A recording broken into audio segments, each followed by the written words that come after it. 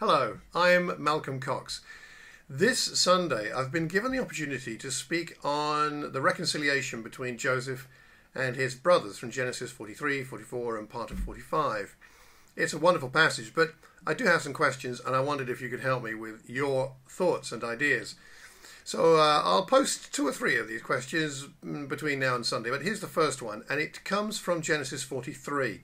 And in this passage, we see Joseph feasting with his brothers. Of course, Joseph, Joseph seated separately in verse 32 of chapter 43. And then it says this, very interesting.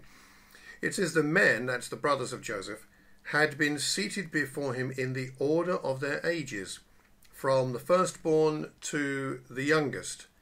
And they looked at each other in astonishment. So, two things come to my mind from this verse, and I'd like your thoughts. Firstly, why does Joseph seat them in order of age? What might have been his reason for doing that? What was in his mind? What were his motives? And secondly, why were the brothers astonished that he did that? What caused them to be so amazed?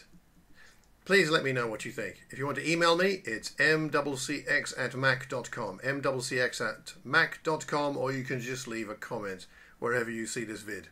I'll post another question tomorrow, but until then, God bless.